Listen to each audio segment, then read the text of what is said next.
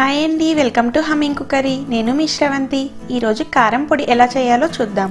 ఇది ఇడ్లీలోకి మెయిన్గా వేడివేడి అన్నంలోకి నెయ్యి వేసుకొని కలుపుకొని తింటే చాలా బాగుంటుంది. ఇది చేసుకుని ఒక్క ముద్ద తిన్నారంటే అయిపోయే వరకు వదిలిపెట్టరు. మరి అంత నోరూరించే కారం పొడి ఎలా చేయాలో చూసేద్దామా?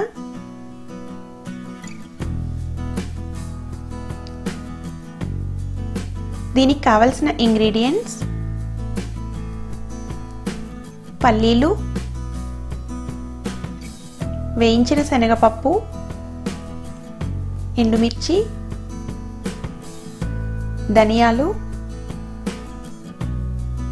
జీలకర్ర వెల్లుల్లిపాయలు సాల్ట్. ఇప్పుడు ప్రాసెస్ చూద్దాం. ముందుగా ప్యాన్లో టూ టేబుల్ స్పూన్స్ ఆయిల్ వేసి వేడయ్యాక మీరు తినే కారంని బట్టి పది నుంచి పదిహేను ఎండుమిర్చిని వేసి స్టవ్ సిమ్లో ఉంచి మాడిపోకుండా వేయించండి. మాడిపోతే కారం పొడి టేస్ట్ మారిపోతుంది. ఇప్పుడు ఫ్రై అయిపోయాయి కదా వీటిని పక్కకు తీసి చల్లారనివ్వండి. తర్వాత అదే ప్యాన్లో ధనియాలు వేసి వేపండి.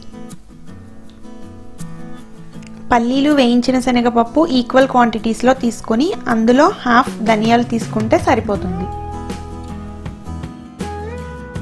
ఇప్పుడు ధనియాలు కూడా ఫ్రై అయిపోయాయి. పక్కకు తీసి చల్లారనివ్వండి. తర్వాత పల్లీల్ని కూడా ఫ్రై చేయండి. పల్లీలు వేయించేటప్పుడు డ్రై రోస్ట్ చేస్తే సరిపోతుందండి. ఆయిల్ అవసరం లేదు. ఇవన్నీ ఒక ప్లేట్లోకి తీసుకొని చల్లారనివ్వండి.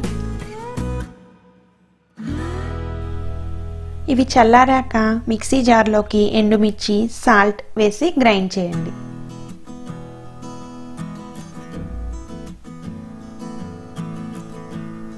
తర్వాత అందులో వేయించి పెట్టుకున్న ధనియాలు వేసి గ్రైండ్ చేయండి.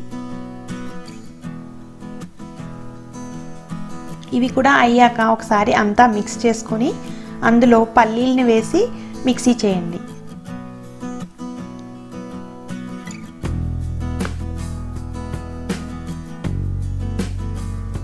తర్వాత వేయించిన శనగపప్పు వేసి ఫైన్ పౌడర్లా చేయండి.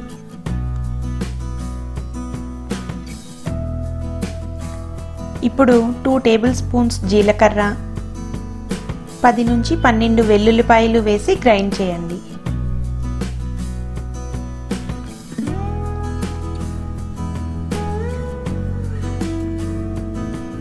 అంతే ఎంతో కమ్మని కారం పొడి రెడీ. మరి మీరందరూ తప్పకుండా ట్రై చేసి ఎలా వచ్చిందో నాకు కామెంట్స్లో చెప్పండి. ఈ వీడియో మీకు నచ్చినట్లయితే లైక్ చేసి షేర్ చేసి సబ్స్క్రైబ్ చేయండి. అలాగే నోటిఫికేషన్స్ కోసం పక్కనే ఉన్న బెల్ ఐకాన్ని క్లిక్ చేయండి. మళ్ళీ ఇంకో రెసిపీతో నెక్స్ట్ వీడియోలో కలుద్దాం.